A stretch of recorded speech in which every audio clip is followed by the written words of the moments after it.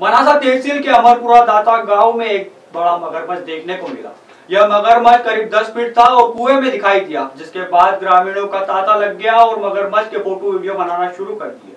वहीं ग्रामीणों ने वन विभाग की टीम को सूचना भी दी, जिसके बाद वन विभाग की टीम मौके पर पहुँची और करीब पाँच घंटे का रेस्क्यू कर मगरमच्छ को रस्सी से बांधकर कुएँ से बाहर निकाला। उसके बाद वन विभाग की टीम ने गांधी सागर डैम में मगरमच्छ को छोड़ मनासा तहसील के ग्राम अमरपुरा दाता में 10 फीट लंबा मगरमच्छ देखा गया। कुएँ में मगरमच्छ को देख ग्रामीणों के होश फाख्ता हो गए। देखते ही देखते पूरा गाँव मगरमच्छ को देखने के लिए कुएँ के पास मौजूद हो गया। ग्रामीणों ने मगरमच्छ के वीडियो फ़ोटो लेना शुरू कर दिए। गाँव में यह मगरमच्छ गुरुवार दोपहर तीन बजे देखा गया है।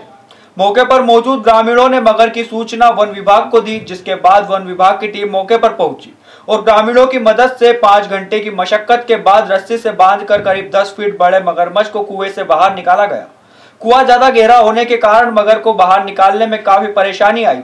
आप वीडियो में देख सकते हैं किस तरह से मगर को रेस्क्यू कर कुएँ से बाहर निकाला जा रहा है। मगर को कुएँ से बाहर निकालने के बाद वन विभाग द्वारा गांधी सागर डैम